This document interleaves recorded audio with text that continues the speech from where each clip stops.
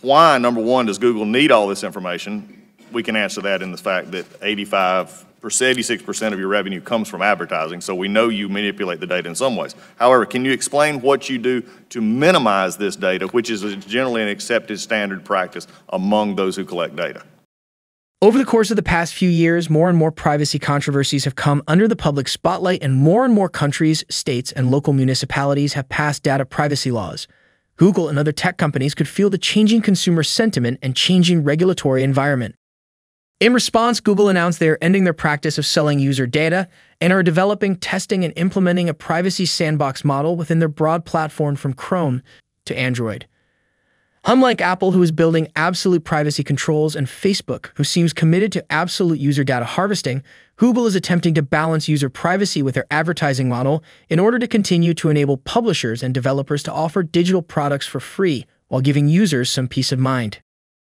The Privacy Sandbox will contain user data within the Google platform and offer advertisers a way to advertise against user profiles, while simultaneously restricting access to those user profiles and identifiers.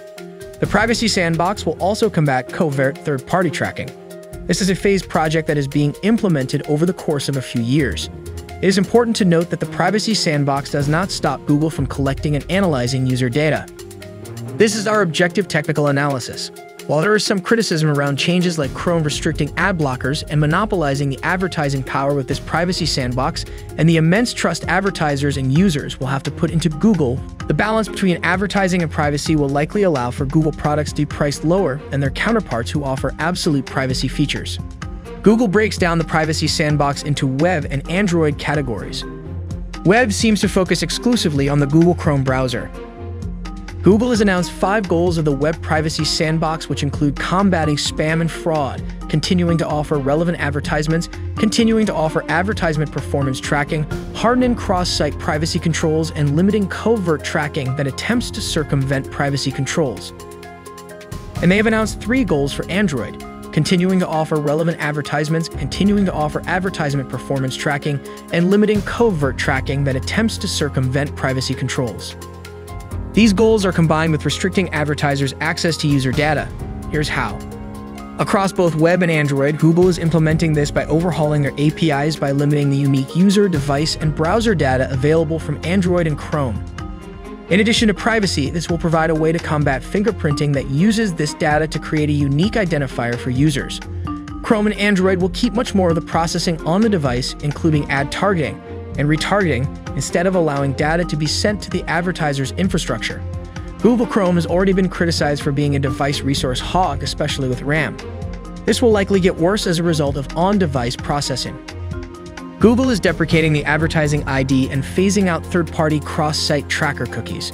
Now advertisers will be offered a way to advertise against user profiles and track advertisement performance by receiving a data set of hundreds or thousands of users' behavior.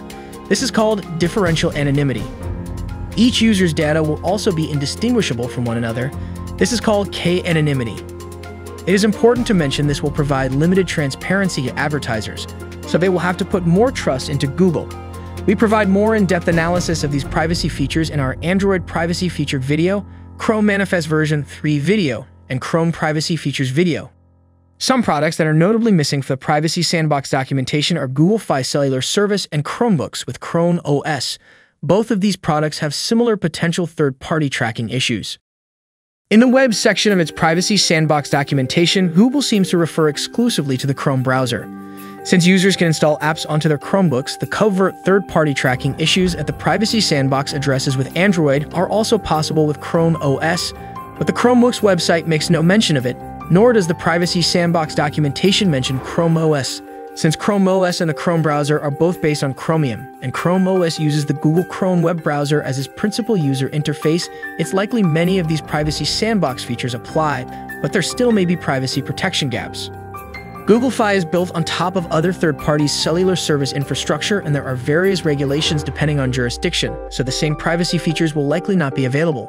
For example, regulators often require mobile location sharing for emergency services and other cellular providers' infrastructure can collect some metadata from device communications which is outside of Google's control. Those cellular service providers often sell that data.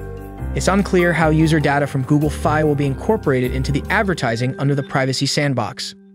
From watching the evolving Android and Chrome privacy features that Google is proposing and or implementing, they seem to be taking an open source, collaborative approach with the developer community.